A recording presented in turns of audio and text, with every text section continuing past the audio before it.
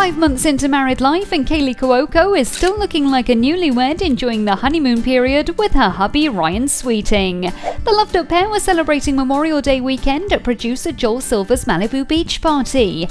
Despite A-listers such as Gwen Stefani, Kate Beckinsale, and Cindy Crawford attending the beach soiree, all eyes were on the tennis pro and his Big Bang Theory star wife. The pair were the picture of love as they took selfies, held hands, and got cozy with plenty of PDAs on a sun lounger.